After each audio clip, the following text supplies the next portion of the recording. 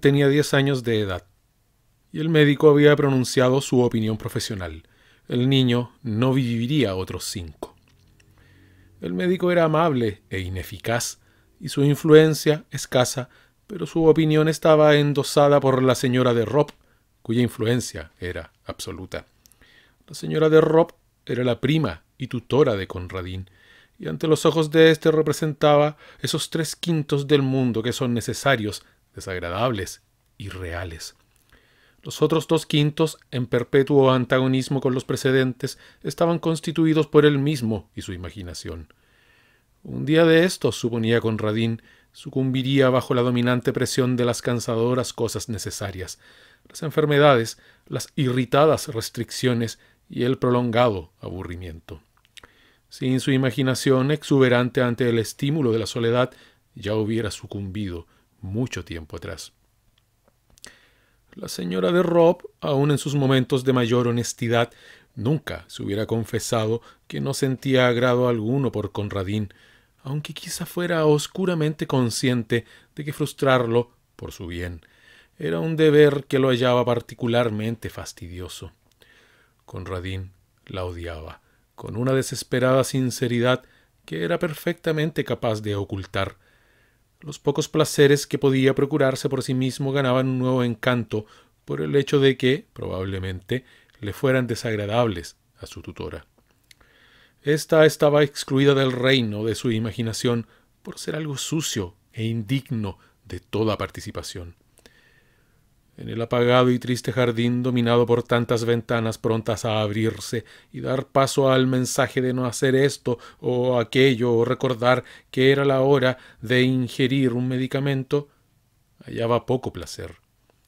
Se le impedía celosamente que se acercara a los pocos árboles frutales que contenía, como si hubieran sido raros ejemplares de su especie crecidos en un desierto. Hubiera sido difícil hallar un verdulero que ofreciera diez chelines por su producción anual entera. En un rincón olvidado, sin embargo, casi escondido tras unos esmirriados arbustos, había un galpón de herramientas en desuso de proporciones respetables, y en su interior Conradín hallaba un refugio, algo que asumía los variables aspectos de cuarto de juego y de catedral. Lo había poblado con una legión de fantasmas familiares, inspirados en parte en fragmentos de historia y en parte provistos por su propia imaginación, pero alojaba también dos huéspedes de carne y hueso. En un rincón vivía una gallina de Howdan, de abultado plumaje, a la que el niño prodigaba un afecto que no tenía otra salida. Algo más alejada, envuelta entre las sombras, había un arca de gran tamaño dividida en dos compartimientos, uno de los cuales tenía al frente barras de hierro colocadas una muy junto a la otra. Esta era la vivienda de un gran hurón, que un amigo, dependiente de carnicería, había introducido una vez de contrabando con jaula y todo, a cambio de una colección de piezas de plata atesoradas durante mucho tiempo. Conradín le tenía muchísimo miedo al flexible animal de tan agudos colmillos, pero era al mismo tiempo su posesión más querida. Su sola presencia en el galpón de herramientas constituía una secreta y terrible alegría que debía ocultársele celosamente a la mujer, como llamaba en secreto a su prima. Y un día, sabe Dios de qué material, le confeccionó a la bestia un nombre maravilloso, y a partir de ese momento se convirtió ésta en un dios y una religión. Una vez por semana la mujer se entregaba a la religión en una iglesia cercana y llevaba a Conradín consigo, pero este servicio no era para él más que un rito ajeno en la casa de Rimón. Todos los jueves, en el mustio y oscuro silencio del galpón, se entregaba con místicos y elaborados ceremoniales a la veneración frente al arca de madera donde habitaba Sredni Bashtar, el gran hurón. Ofrecía ante la capilla flores rojas cuando era el tiempo y moras escarlatas durante el invierno, pues era un dios al que interesaba especialmente el aspecto feroz e impulsivo de las cosas, en oposición de la religión de la mujer, que dentro de lo que podía observar Conradín tendía en general a lo contrario. y en ocasión de las grandes festividades arrojaba frente al arca nueces moscadas espolvoreadas. Un rasgo importante de esta ofrenda era que las nueces debían ser robadas. Estos festivales acontecían irregularmente y se destinaban sobre todo a la celebración de algún hecho pasajero. En una ocasión en que a la señora de Rob le dolieron las muelas durante tres días seguidos, Conradín mantuvo la festividad los tres días enteros y casi llegó a persuadirse de que Redni Vashtar era personalmente responsable por el dolor de muelas. Si la enfermedad hubiera durado un día más, las provisiones de nuez moscada se habrían agotado. la gallina de Houdán no la hacía participar nunca del culto a Redni Vashtar. Hacía mucho que Conradín había decidido que ella era anabaptista, no pretendía tener la más remota idea de lo que era un anabaptista, pero interiormente esperaba que fuera algo osado y no muy respetable. La señora de Rob constituía los cimientos sobre los cuales basaba su odio por toda respetabilidad. Al cabo de un cierto tiempo, la frecuentación del galpón de herramientas por parte de Conradín comenzó a llamar la atención de su tutora. No le hará ningún bien estar jugueteando por allí con lo variable que es el tiempo, decidió sin vacilar, y una mañana, durante el desayuno, anunció que la gallina de Houdán había sido vendida la noche anterior. Atisbó a Conradín con sus ojillos miopes en espera de una explosión de furia y dolor que estaba ya preparada para censurar con un flujo de excelentes preceptos y razonamientos. Pero Conradín no dijo nada. Nada había que decir. Algo quizá en el rostro empalidecido del niño le produjo un escrúpulo de conciencia momentáneo, porque a la hora del té aquella tarde hubo tostadas en la mesa, bocado que habitualmente eliminaba de su dieta, porque, según sostenía, no le hacía ningún bien. También porque hacerlas daba trabajo, mortal ofensa ante los ojos femeninos de clase media. Creía que te gustaban las tostadas, dijo con tono ofendido al observar que él no las tocaba. A veces, dijo Conradín.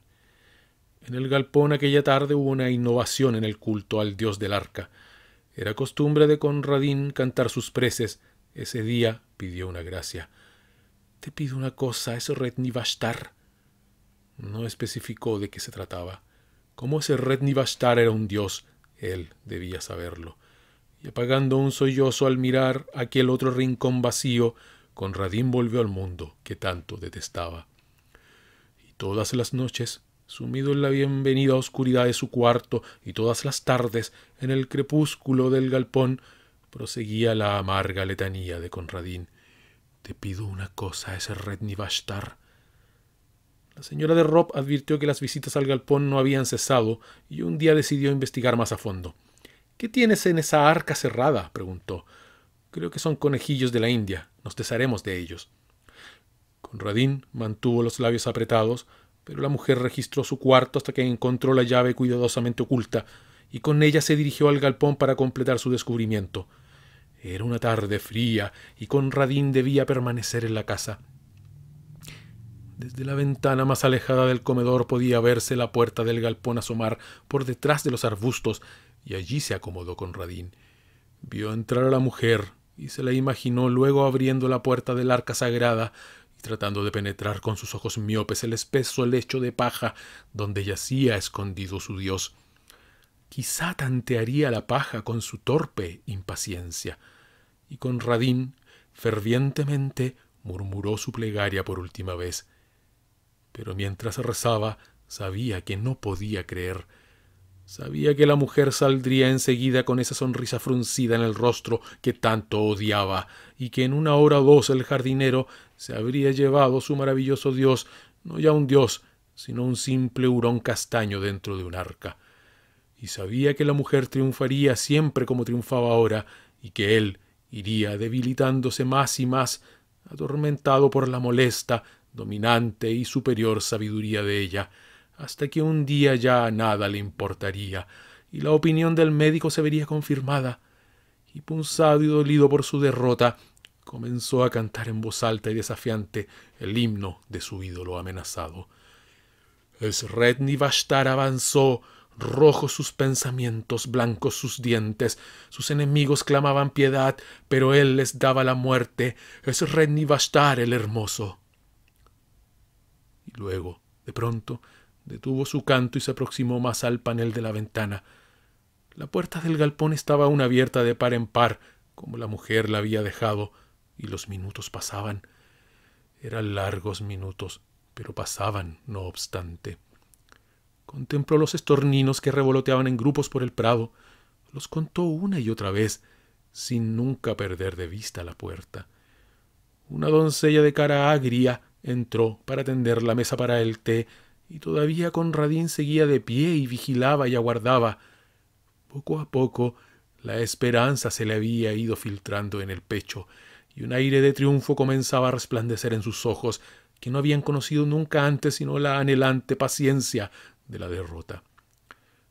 Bajo su aliento, con furtiva exaltación, comenzó a entonar una vez más el peán de victoria y devastación, y enseguida sus ojos se vieron recompensados.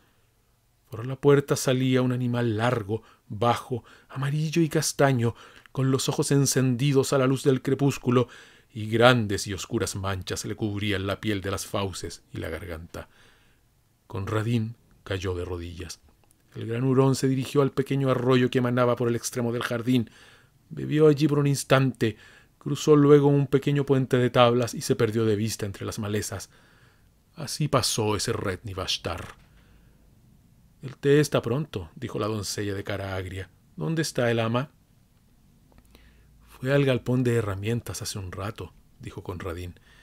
Y mientras la doncella iba a buscar a su ama para el té, Conradín tomó un tenedor de tostadas del aparador y comenzó a tostarse una rebanada de pan. Y mientras se la tostaba y la untaba con abundante manteca, y mientras duraba el lento placer de comérsela, Conradín estuvo atento a los ruidos y silencios que como rápidos espasmos cundían por oleadas afuera. El estúpido chillido de la doncella, el coro de interrogantes clamores con que le respondió la legión de la cocina, los escurridizos pasos y las apresuradas embajadas de ayuda y luego, tras un silencio, los asustados sollozos y los pasos arrastrados de quienes transportaban una carga pesada al interior de la casa. ¿Quién le va a llevar la noticia al pobrecito niño? Yo no podría de ningún modo, exclamó una voz aguda. Y mientras discutían entre sí la cuestión, Conradín procedió a prepararse otra tostada.